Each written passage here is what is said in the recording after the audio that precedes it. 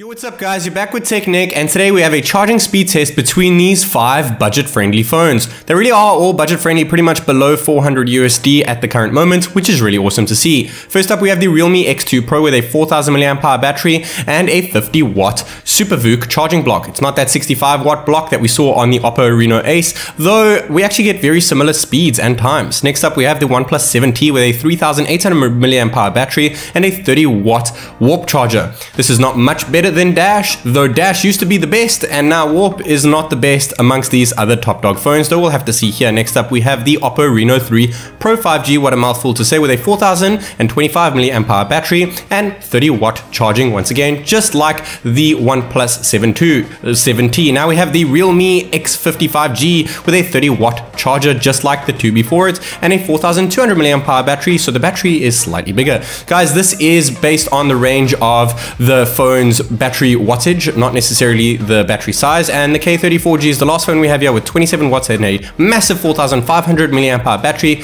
Like I said, all in terms of the wattage, these are all awesomely fast charging phones. This is TechNick, and without further ado, let's go.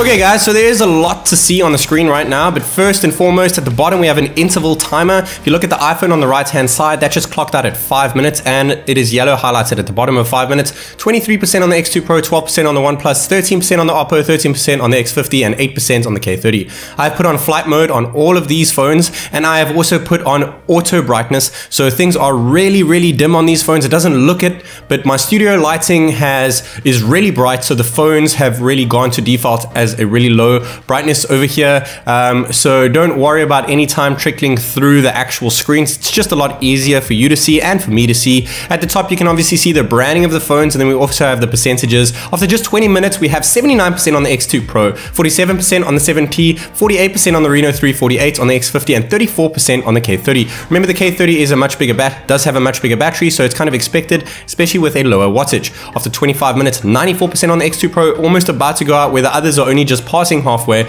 Really incredible after just 28 minutes. I round up the seconds over there to the closest minutes. 28 minutes on the X2 Pro. And we also have the degrees of the battery. We have 32.5 degrees Celsius when it comes to the battery temperature when the phone clocked out at 100%. At just 28 minutes, guys, that is even quicker than when I had the screens off in my last test, just to let you know that there's barely any battery trickling through. Now we have uh, on the 40 minute mark, 86% on the OnePlus 7T, 86 as well on the Reno, 88%. The X50 is actually going faster. Can you believe that with a bigger battery than the two on the left and 59% on the K30. Guys, remember I am looking at the interval percentages, not the percentages on the phones themselves. And now after just 48 minutes rounded down, because it was closer to the 48 minute mark, the Realme X50 with a bigger battery 4200 milliamps and 30 watt fast charging came out at 48 minutes. Guys, that is not much slower than the X2 Pro for a bigger battery and a phone with almost half the wattage battery block.